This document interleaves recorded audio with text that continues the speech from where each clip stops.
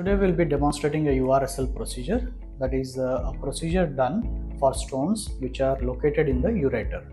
So these are the stones which have traveled from the kidney and got stuck in the urine tube before reaching the bladder. So these cases we normally operate under spinal anesthesia. Patient will come get admitted on the day of the procedure.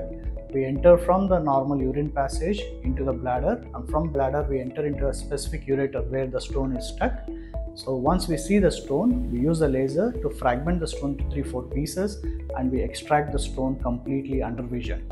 So after the procedure is completed, we normally place a small stent. It's a small plastic tube which will be kept inside for up to 10 to 12 days.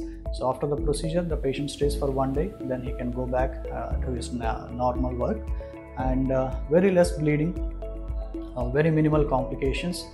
The post-op recovery is usually very fast so the patient's apprehension of having the surgery is more than doing the procedure itself.